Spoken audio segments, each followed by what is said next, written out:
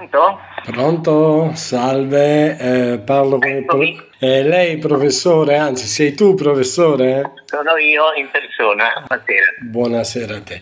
Eh, intanto grazie per la tua disponibilità, la tua gentilezza, eh, in questi giorni sei stata una persona veramente meravigliosa. Ecco, però io volevo in questo primo nostro incontro, che durerà una trentina di minuti circa, eh, poi nel tempo parleremo di quella che è stata la storia del parco eh, d'Abruzzo e di quella che è eh, l'attuale situazione e di quello che sarà, si spera, roseo futuro per l'orso marsicano.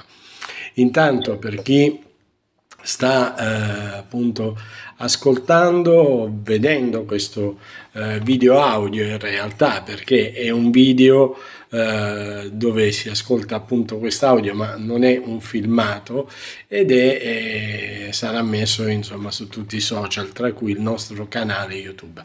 Quindi abbiamo eh, con noi in questo incontro il professor Franco Tassi.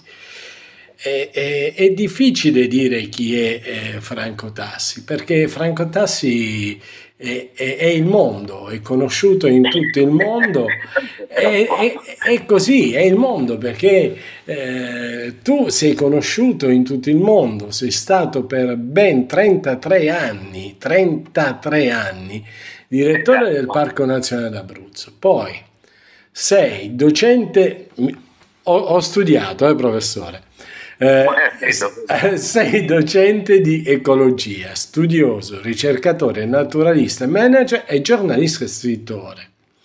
Mm. Poi hai eh, circa eh, 200 pubblicazioni scientifiche hai scritto, oltre 200 pubblicazioni scientifiche. Sei stato docente all'Università di Camerino e di Napoli e sei un giornalista freelance dal 1968, hai collaborato con testate nazionali come La Repubblica, Il Messaggero, Il Giornale d'Italia, Epoca, Airone, eccetera, eccetera. Inoltre sei stato anche consulente anche di ministri dell'ecologia e dell'ambiente. Allora, quello che io ti chiedo, Franco, ma come ci si sente ad essere il professor Franco Tassi?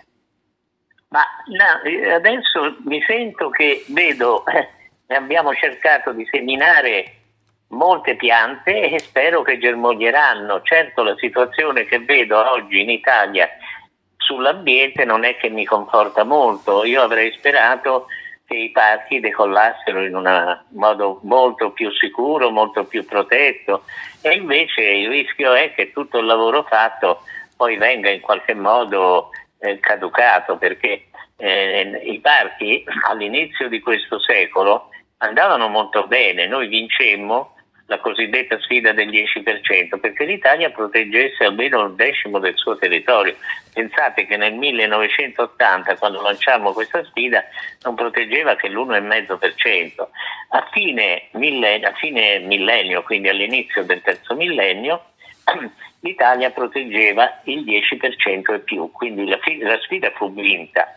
Il problema è cosa succederà ora. I parchi sono fondamentali, sono un'infrastruttura essenziale per un paese civile, però non mi sembra che le istituzioni italiane riservino ai parchi la cura che meriterebbero. E voglio leggere una, una frase che dice come sono percepiti i parchi da persone che hanno veramente capito cosa rappresentano. Leggo una frase di Giorgio Celli, eh, purtroppo scomparso, un caro amico che era anche un famoso presentatore televisivo di programmi naturalistici. Lui disse questo, i parchi non sono solo luoghi ecologici di privilegio, grandi aule scolastiche all'aperto per insegnare ai giovani l'amore per la natura, ma sono simboli della nostra speranza che tutta la biosfera si muti in un luogo di reciproca coesistenza tra uomo, piante e animali, vincendo la sfida del futuro. Mi pare che meglio non si potrebbe definire l'essenza dei parchi. E allora perché l'Italia non fa così eh, diciamo, attenzione a questo gioiello di cui dispone, eh, che significa veramente un uh, indicatore di civiltà, diceva Roosevelt, la civiltà di un'azione eh, si mostra e dimostrata dal modo con cui protegge i propri parchi nazionali. Ecco, credo che questo definisca un po' qual è la missione di chi lavora in, questa, in questo campo naturalistico. Professore, noi eh, in questi giorni abbiamo avuto modo di scambiarci eh, dei pensieri, delle riflessioni, eh, una lunga chiacchierata che per me è stata una, una lezione universitaria privilegiata perché mi sono sentito un privilegiato quella sera 45 minuti al telefono con te, mi hai aperto un mondo fantastico, fantas- fantastico e nello stesso tempo tragico, perché eh, poi ovviamente approfondiremo nell'arco di questi incontri che avremo. Eh, addirittura si è parlato anche di aiuti eh, dell'Unione Europea sul bestiame, eh, su un bestiame che non c'era in realtà. Quindi, Purtroppo è vero purtroppo diciamo, esiste un esercito di truffatori che cerca soltanto di attingere ai fondi europei e spesso ci riesce falsificando carte e dichiarando magari che ci sono dei pascoli utilizzati, ma non è vero. E I carabinieri e la finanza ne hanno scoperte parecchie di queste truffe, poi potremo anche esaminare. Sì, poi nel tempo li esaminiamo, si parla di oltre 81 mila euro in pochi anni. Sì, ma addirittura se andassimo a esaminare un periodo più lungo e un territorio più ampio ci sarebbero cifre molto molto più consistenti e purtroppo diciamo c'è questo problema. Il problema non è che finisce solo con i pascoli eh, finti, falsi, ma si estende a tanti altri usi ehm, truffaldini del fondo europeo. E la verità è che questi fondi fanno gola e che si cerca di ottenerli eh, a scopo di conservazione puramente teorico, ma in realtà si fa danno alla natura in tutte le maniere, quindi su questo potremo poi tornare approfondendo. Certo, certo, um, questo ovviamente adesso, come si dice, è un'infarinatura iniziale per eh, dare un pochettino quella che è l'idea, perché come mi dicesti l'altra sera, eh, mi senti bene? Sì. Ah, perfetto. E, e, come mi dicesti l'altra sera, qui si, si, torna indietro nella storia che dal 2002 a oggi sono stati uccisi eh, nella, nella Marsica 80 orsi tra avvelenamenti, fucili, investiti. Nel 2007 addirittura spargevano le capre avvelenate. E c'è sì, erano capre avvelenate che hanno ucciso eh, tre orsi più due orsetti che sono stati poi massacrati e bastonati. Veramente tutto questo veniva tenuto nascosto, ma la cosa che l'indicatore del fallimento della tutela dell'orso avviene nel 2002. Eh, non a caso è il momento in cui cambia diciamo, la dirigenza del parco e da quel momento eh, gli orsi vengono massacrati, ma non solo gli orsi. Nel 2002 sono stati persi 14 orsi e nel 2003 13 orsi, ma la notizia veniva tenuta nascosta. Poi uscì quando arrivarono i carabinieri del NOE e ci fu una conferenza stampa e allora non poteva più essere nascosto. Insomma, in due anni 27 orsi, non so se mi spiego. Eh, certo. E questo dimostra che il parco non assolveva più i suoi compiti. Come mai? Ecco, questo è il vero quesito che qualcuno avrebbe dovuto porsi ma non si è posto. Però nel frattempo venivano spesi immensi fondi europei. A quel punto là, nel 2007, sembra che si fosse arrivati già a 25 milioni di euro di spesa per le ricerche sul, eh, sull'orso marsicano. Allora la mia domanda è, ma cosa, quale risultato è stato ottenuto con questo enorme diluvio di, di fondi? Eh, Soprattutto dove sono finiti? Eh, vorrei che qualcuno si ponesse queste domande. Non è un fatto che interessa una o due persone, è, è un problema nazionale, ma non se ne parla. Ne stiamo parlando noi ora, certo. a distanza di parecchi anni. Ma magari eh, qualche eh, buon cuore della Guardia di Finanza ci sta ascoltando e Professore Caro, quello che non è successo in tanto tempo può succedere eh, oggi, insomma. Eh, Sicuramente prima è vero, la verità deve venire. È vero, è vero che alcune cose sono andate in prescrizione. Sì, ma la, diciamo, la condanna morale e la condanna sociale non vanno mai in prescrizione. Ah, questo sì. Se, se oggi si dicesse è avvenuto questo, i responsabili sono questi, non importa, noi non vogliamo mandarli eh, in carcere, noi vogliamo solo che esca fuori la verità. Questo nell'interesse del futuro eh, dell'orso, ma anche dei parchi e della stessa Italia, perché andando avanti arrampicandosi sulle menzogne non si arriva da nessuna parte. Franco, diciamolo chiaramente, adesso è il momento che venga fuori tutta la verità perché lo dobbiamo ad Amarena. Io credo, esatto. io credo esatto. che sia questo il punto fondamentale perché non dimentichiamo tutti gli orsi morti, non dimentichiamo l'orso Mario che non si sa in quale pentola è finita, è finito perché io sono convinto che questo è accaduto. Eh, non dimentichiamo Joan Carrito eh, che è stato eh, ucciso, eh, addirittura io mi sono sentito dire che la macchina andava a 30 km h Beh, può darsi pure che gli asini volano, ma io non li ho visti volare. Eh. Quindi... No, assolutamente. Ci sono stati dei Mm, piccoli incidenti in cui un orso è stato in qualche modo urtato da una macchina che andava piano ma non si è fatto niente, infatti, è andato via un po' spiato e basta. Infatti, tra l'altro, ci sono dei, dei, video che hanno messo i Rangers americani con orsi che hanno più o meno la stazza di quelli eh, nostri eh, a 70 km h a 60-70 km h l'orso si è rialzato ed è andato via.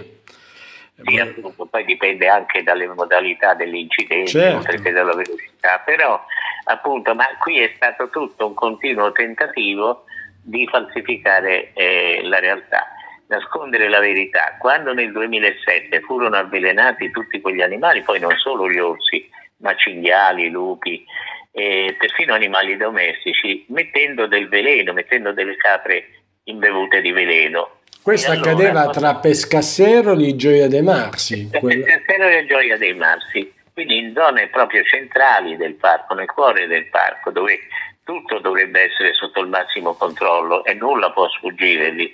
E allora cosa avvenne? Che due orsacchiotti, evidentemente figli dell'orsa avvelenata, di uno degli orsi avvelenati, eh, si sono trovati soli perché loro non avevano mangiato la capra avvelenata in quanto erano ancora nella fase di spezzamento, non vanno a mangiare la carne, sono ancora un po' allattati, la mamma insegna nel primo anno a mangiare qualcosa raccogliendo sul terreno insetti, funghi, bacche, eccetera. Allora questi orsacchiotti evidentemente si sono lasciati avvicinare, poi sono animali molto curiosi, giocherelloni, si saranno avvicinati agli avvelenatori. E questi li hanno massacrati a bastonate. E poi li hanno buttati sulla strada dicendo sono stati investiti dalle macchine, ma è stato subito evidente che non era vero. Quando la cosa è esplosa, è venuta fuori, addirittura qualcuno si è inventato la storia che fossero stati uccisi da un maschio, mentre se un maschio li avesse uccisi, cosa che non è mai avvenuta nel parco d'Abruzzo, è un fatto veramente eh, che può avvenire con il grizzly che è molto più feroce, carnivoro, certo. eh, quindi può, può, può, essere molto diverso dal marzicano. Bene, eh, quando li hanno guardati a fondo si è visto chiaramente che non erano né investiti da macchine né avevano i segni di animaletti uccisi a zampate da un grosso orso. Erano stati ammazzati a bastonate. Questo dice qualcosa. Dalla bestia, del, dalla bestia dalla umana. Eh? Dalla bestia umana. Sì, ma a due passi dal, dalla sede centrale del parco e dal luogo dove tutti si muovono, sanno, vedono e raccontano, per cui alla fine la verità è uscita, però non se ne è più parlato. E quindi, tornando al discorso degli orsi, non c'è dubbio che nel, io parto da quando non c'ero più, ma sono notizie da verificare ovviamente, ma la stima più attendibile parla di oltre un'ottantina per quanto risulta di orsi uccisi. Se non ci fosse stata questa situazione di, eh, di disordine, di, di, caos nel parco, molti di quegli orsi sarebbero ancora vivi. Certo, qualcuno poteva essere anche morto o arrivato a un'età, eh, diciamo, eh, troppo avanzata. Teniamo presente però che quando muoiono per cause naturali, per vecchiaia, non si trovano mai, vanno a morire in posti nascosti, non in mezzo alla strada, evidentemente. Ho capito, quindi Mario potrebbe essere morto di vecchiaia, ma anche perché... Potrebbe anche, potre... io non lo so, ma certo non ho seguito tutti i casi, del resto eh, questo sarebbe un'indagine che, ecco, con i soldi dell'Unione Europea la prima cosa da fare era un'indagine approfondita su questo. Poi la prima cosa ancora eh, più importante sarebbe capire quanti soldi sono stati spesi per l'operazione, per la ricerca sull'orso marsicano. Io ho detto 25 milioni perché c'è stata un'inchiesta giornalistica nel 2007, ma da allora sono passati tanti anni.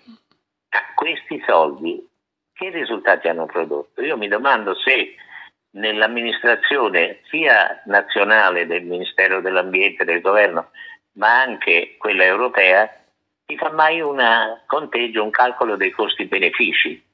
Io spendo una immensa cifra, quale risultato mi portate? Io non ho sentito nessuno dire questo e porsi questo problema. Franco, io ho notato invece che l'attuale, la von der Leyen, addirittura che lamentava qualche tempo fa che un lupo aveva sbranato il suo pony, ha tanta voglia di riaprire la caccia al lupo e questo è un pessimo segnale di questa Europa dove abbiamo un infiltrato eh, che si chiama eh, Fiocchi, che è un parlamentare europeo e mm, di conseguenza ci sono degli interessi veramente trasversali che non fanno bene ai selvatici. Io sinceramente non vedo un futuro eh, tranquillo per orsi, lupi e tutto ciò che riguarda i selvatici, insomma. Eh. Sicuramente, sicuramente, ma devo dire eh, quando affrontiamo questo problema generale, cioè come porsi di fronte ai grandi predatori, che stanno aumentando e diffondendosi in Europa, perché oggi i, lupi che erano scomparsi dalla Germania sono circa 20.000 in Germania e il ricercatore che se ne occupa ha dimostrato che sono molto utili, sono utilissimi per tante ragioni. Una che controllano l'eccessiva espansione di ungulati come incendiare, che è quello che fa veramente molti danni alle colture. Secondo, perché se noi abbiamo popolazioni di cervi e caprioli che si moltiplicano continuamente, avremo la distruzione delle foreste. Il lupo invece evita questo perché ehm, mantiene le popolazioni a livello fisiologico accettabile. Non solo, ma gli esemplari che lui elimina sono quelli vecchi e malati, quindi in qualche modo attraverso la selezione naturale eh, di darwiniana memoria lui eh, assicura che l'ecosistema continui a essere equilibrato e funzioni. La, la mania di dire ammazziamo un po' di lupi ha contagiato anche i francesi ed è un errore gravissimo, ma in realtà è una specie di boccone che danno ai cacciatori per accontentarli, a chi protesta, di dire vabbè te ne faccio ammazzare qualcuno, ma è controproducente per tante ragioni che potremo spiegare, il discorso sarebbe lungo, però eh, la vera domanda da porsi è ma perché fanno questo? Per due ragioni, lo dico subito, la ignoranza e la malafede. Qualcuno mi dice ma è più malafede o più ignoranza? La mia risposta è 50-50, metà e metà. Perché c'è anche molta ignoranza. Chi, è, decide queste cose crede che eliminando cinque lupi ha risolto il problema, non ha risolto niente, l'ha aggravato. Perché quando la, mm, il lupo capobranco non c'è più ed è stata eliminata, tutte le femmine si riproducono per compensare la perdita nel branco. Quindi aumentano di numero. che si diffonderanno ancora più ampiamente. Questa è la verità, è stato dimostrato da tanti studi scientifici. Quindi è un errore gravissimo dire ammazzo un po' di lupi. I lupi conterranno la loro eh, posizione in rapporto al cibo disponibile. Se non c'è cibo andranno in un'altra zona, ma non è che si espandono illimitatamente. Chi si espande illimitatamente sono gli ungolati abbiamo l'esempio del cinghiale, che non c'era più in Italia, oggi ce ne sono migliaia. Certo. Professore, ehm, ci avviciniamo verso la, la, parte finale del nostro incontro e io volevo parlare eh, di Amarena, perché Amarena eh, è un'orsa che ha segnato nel cuore tutti, eh, come i precedenti, ma Amarena era ed è un qualcosa di speciale per tutti noi che l'amavamo. Amarena è stata uccisa eh, vigliaccamente, sparata alle spalle da un bracconiere, un killer che si chiama Andrea Leonbruni e il problema che io mi pongo è questo, il controllo delle armi, perché uno che non è cacciatore, cosa se ne fa di avere un fucile da caccia a casa e le cartucce. Se non vai a caccia le cartucce non servono e questo lo dico anche da, eh, diciamo, tra virgolette, da esperto nel senso che eh, per anni facevo gare di tiro a piattello con il fucile e io avevo le cartucce nel momento in cui andavo oh, nelle piattaforme a fare eh, sport, perché quello è sport, quello si chiama sport, lancio e tiro a piattello. Poi si parla di cibo facile, abbiamo parlato l'altra volta al telefono del, eh, del famoso eh, diciamo affitto di camera con vista orso. È vero che c'è questo vizio di alimentare gli orsi per attirarli, per fare pubblicità al locale di turno, per fare pubblicità alla zona di turno, ma è anche vero una cosa che questi orsi sono morti perché l'uomo li ha sparato, perché l'uomo li ha investiti. Allora, Amarena cosa ci insegna oggi questo vuoto incolmabile? Certo, io credo che il caso di Amarena è un caso speciale perché effettivamente ha suscitato un'ondata emotiva come non c'era mai stata molta gente che non si era mai occupata degli orsi e tantomeno degli orsi marsicani ha avuto diciamo una emozione grande nel vedere un'orsa madre con i cuccioli che poi viene eliminata in barbara maniera. Eh, la cosa però ci riporta a una fase precedente di cui non si parla mai. Quando si dice che gli orsi vanno a cercare cibo vicino all'uomo, vicino ai villaggi, si dice solo una parte della verità. Io domanderei perché abbiamo un filmato di un documentario de- televisivo che venne fatto nel 69, quindi quando io avevo appena assunto la direzione del parco, che mostra i giornalisti della televisione che vanno alla ricerca dell'orso e non riescono a vederlo dopo giorni di ricerche non sono riusciti a vedere. Una volta l'orso stava lontanissimo, evitava l'uomo in tutti i modi. Come mai a un certo punto ha cominciato ad andare nei pollai? Nessuno si pone questa domanda. La domanda ha una risposta molto semplice. Bene. Perché i ricercatori misero delle esche olfattive sulla base di pollo nutrito di pesce, di cascami di pescheria. L'orso non aveva mai eh, esplorato l'interno dei villaggi montani alla ricerca di pollai, ma quando si è incapricciato, come dico io, perché ha sentito l'odore e gli è piaciuto il sapore di questo pollo, quando ha sentito che c'era questo odore nei pollai dei villaggi, perché l'orso ha un fiuto eccezionale, lo può sentire a due chilometri, è andato nei pollai i pollai sono nei paesi dove gli anziani tengono qualche gallina per portare l'ovetto fresco ai nipotini e quindi ecco che è nato il problema degli orsi che oggi chiamano confidenti o problematici. In realtà è sbagliata questa definizione. Gli orsi vanno chiamati viziati, deviati, guastati. La, il termine anglosassone è spoiled, questi sono orsi che l'uomo ha rovinato, il vero problematico è l'uomo. Bravo. Ma nessuno dice questo, nessuno dice questo.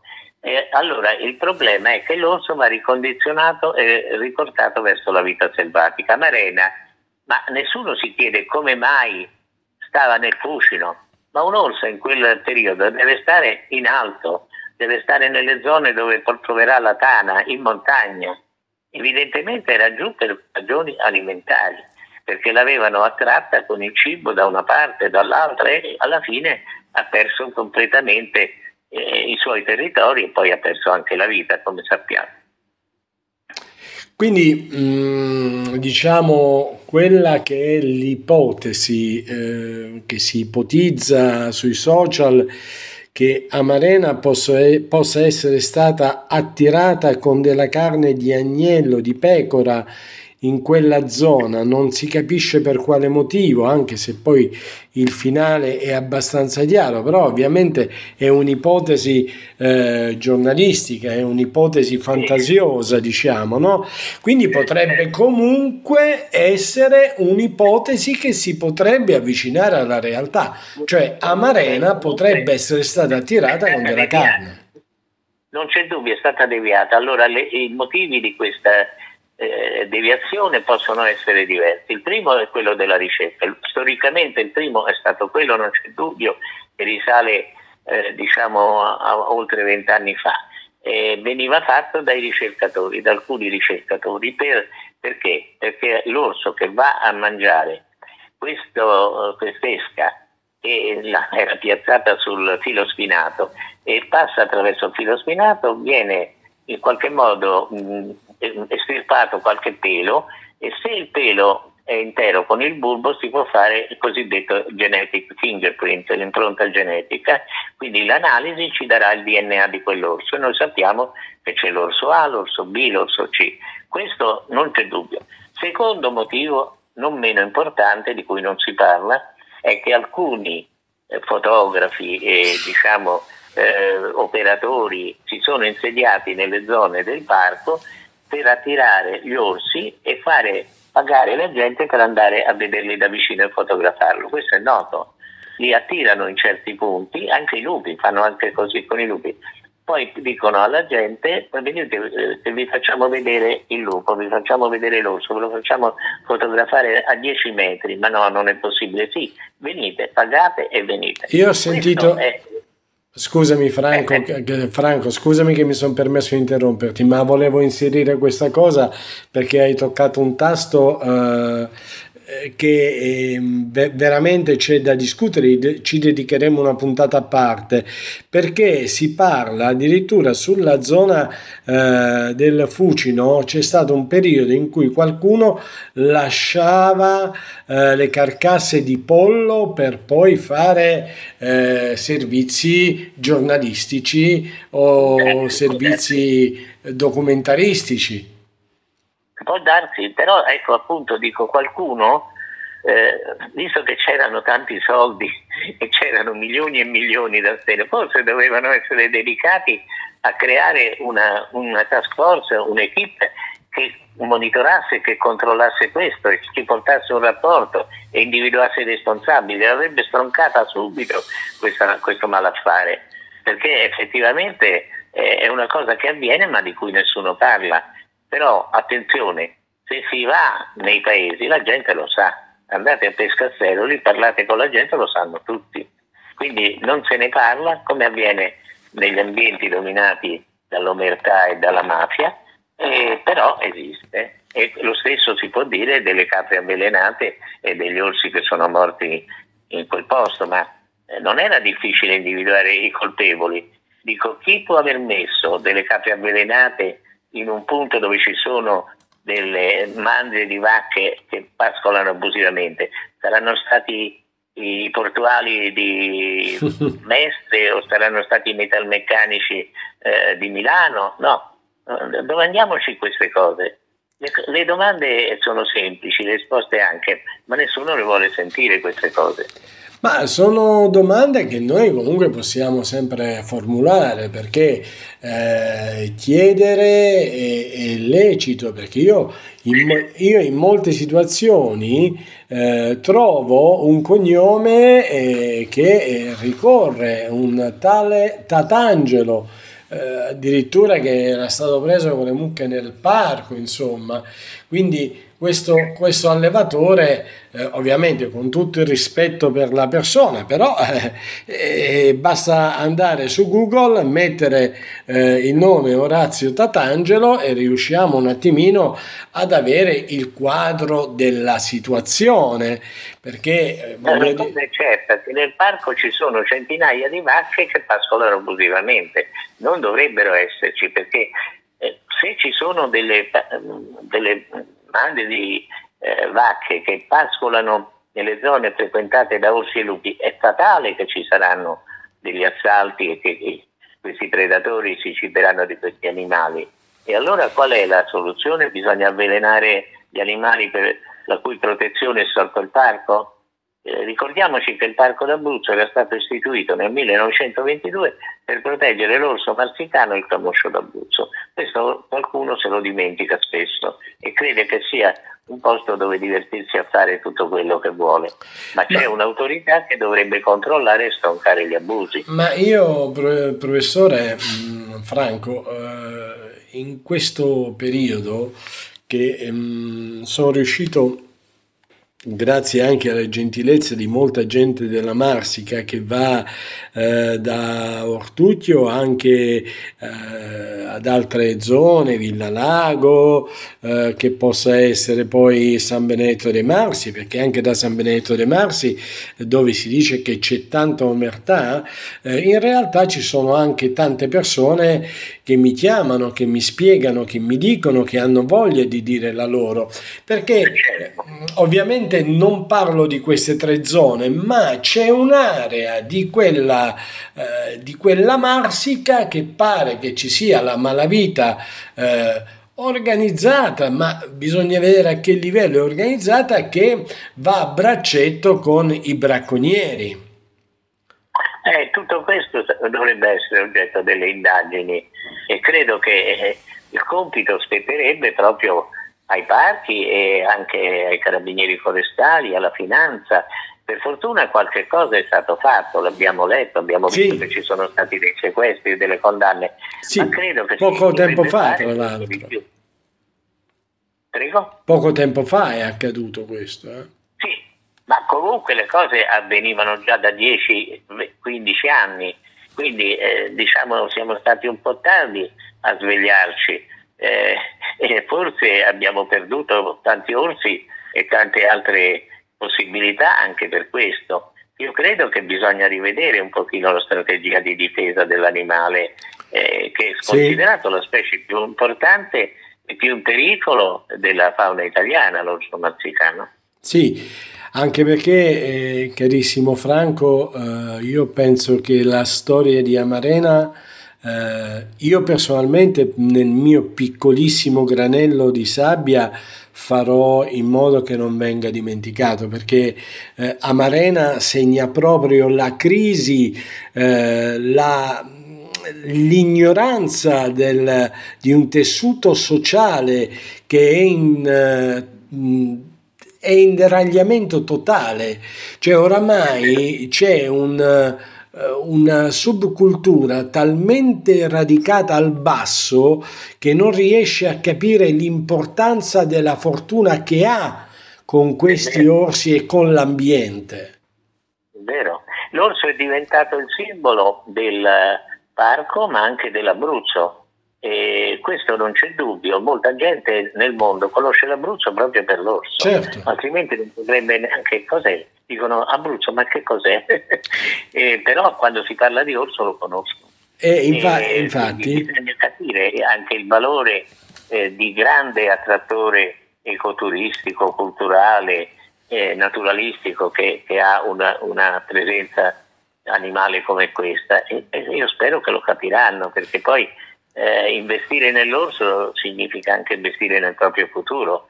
Guarda, I territori non avrebbero un futuro se non fossero protetti e non offrissero un'esperienza unica di contatto con la natura. Franco, io non voglio fare l'avvocato del diavolo, però eh, tu sei una persona molto eh, fiduciosa, sei una gran brava persona, sei una persona molto buona che ha fiducia eh, nel prossimo e nel futuro. Io invece eh, voglio fare un po' l'avvocato del diavolo, vedo talmente tanta ignoranza in alcune fazioni di quel territorio che sono compresi giovani. Perché... Sì, no, eh, questo è vero, ma non è solo quel territorio, io direi... No, in una fazione, in una parte di quel territorio, perché c'è, c'è anche tanta brava gente su quel territorio. Credo in tutta Italia, credo che in Italia ci sia una, una specie di, come potrei dire, eh, di malattia, di patologia genetica che si chiama analfabetismo ecologico. Sì. Noi siamo bravi a parlare di tutto, per carità, parliamo eh, a non finire, anzi ascoltiamo poco, impariamo poco, ma vogliamo insegnare sempre tutto a tutti. Però una cosa è certa, che non abbiamo una sensibilità ecologica. Quando parliamo di questi problemi non ci rendiamo conto di vivere in una realtà, in una biosfera che è fatta di ecosistemi pieni di esseri viventi e che noi abbiamo bisogno della natura, non è la natura ad aver bisogno di noi. E noi invece la natura la maltrattiamo, la deprediamo credendo che sia un serbatoio infinito a cui attingere, ma forse non ci rendiamo conto di dove stiamo andando. Noi invece abbiamo bisogno di te, abbiamo bisogno del professor Franco Tassi perché non ci siano più casi come quelli di Amarena. Adesso eh, si è aperta una strada, un piccolo sentiero. Questo piccolo sentiero, grazie anche a te, dovrà diventare una strada che riesca ad illuminare e a far capire alla gente l'importanza di quella che è la natura, l'importanza di quelli che sono gli orsi, di quelli che sono i selvatici e soprattutto della fortuna che noi abbiamo a vivere in una regione come l'Abruzzo. Assolutamente, assolutamente d'accordo, ma io credo che se si desse in qualche modo eh, una spinta iniziale partendo proprio dai giovani, giovanissimi, li si facesse eh, frequentare la natura, vedere, assistere, conoscere queste cose, rimarrebbero incantati, non resterebbero solo legati ai giochi con il tablet, eccetera, perché certo. è quello che poi cretinisce. Io, io penso che avrebbero tanti stimoli per andare a contatto con la natura, scoprire tante cose e intraprendere una strada che non può poi portarli altro che alla conoscenza e quindi all'amore e di conseguenza alla conservazione, alla tutela della natura. Perché secondo me, Franco, bisogna partire dalla, da due categorie, bambini e ragazzini, perché i giovani di oggi li vedo disorientati, perché quando apro il televisore e leggo che per una festa di compleanno eh, è stata uccisa a calci una capra per tra virgolette divertimento e allora vuol dire che qualcosa abbiamo, eh, abbiamo perso, qualcosa si è sbagliato, bisogna ripartire da zero. È l'analfabetismo ecologico, una specie di vuoto mentale, una zona d'ombra che dobbiamo illuminare. Eh, quando si arriva a parlare di queste cose molta gente non sa e non capisce niente, però agisce e agisce male. Allora la, la colpa è di una società che non sa dare eh, in qualche modo l'istruzione giusta perché non si fa più quella che era l'educazione ambientale. L'educazione ambientale, l'educazione naturalistica dovrebbe essere altrettanto importante quanto l'educazione civica, l'educazione stradale, Bravo. l'educazione sanitaria. E, e questa è, è la prima cosa da fare, ma c'è qualcuno che se ne preoccupa, non mi pare. Purtroppo al momento il governo, lo Stato, diciamo lo Stato, perché i governi passano, vanno e vengono. Lo Stato italiano è latitante, molto latitante perché queste sono materie che dovrebbero essere messe proprio come valutazione di base. Quindi, assolutamente. Ma Comunque, approfondirle, eh, approfondirle proprio. Eh, assolutamente, questo si dovrebbe fare. Poi non è qualcosa di impossibile o di vietato, di costosissimo. Ecco, cioè non ci si può affidare ai privati per fare queste cose, deve essere lo Stato. Certo, ma avere tanti fondi europei e non aver capito che una parte andava investita nell'educazione ambientale, io ho avuto gli esempi quando facevamo queste attività attraverso i centri di visita di ragazzi giovani dei paesini del parco che rimproveravano i genitori perché dicevano ma papà, ma tu sei cacciatore e vai a ammazzare i camosci? Mm. Questo è il modo di cambiare la situazione. Però dobbiamo muoverci, dobbiamo essere noi a, a, a iniziare a instillare questo germe, questo seme che poi porterà dei frutti, e altrimenti da solo non avverrà, forse avverrà solo quando è troppo tardi, quando rimarrà solo un orso, allora tutti piangeranno e diranno ah che peccato. Intanto eh, per la memoria di Amarena, perché Amarena non venga mai dimenticata, noi questo piccolo percorso lo iniziamo, eh, questo piccolo eh, tratto di strada, passo dopo passo, lo stiamo facendo io eh, ti ringrazio Franco, sei una persona meravigliosa. E, che cosa posso dirti? Posso dirti per il momento grazie, spero di abbracciarti personalmente il più presto.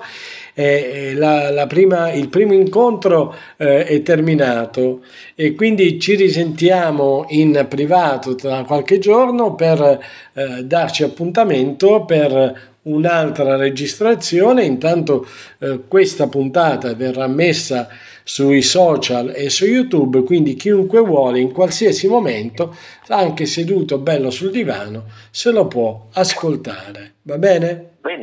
Benissimo, grazie. Franco, grazie, buona serata e un abbraccio forte.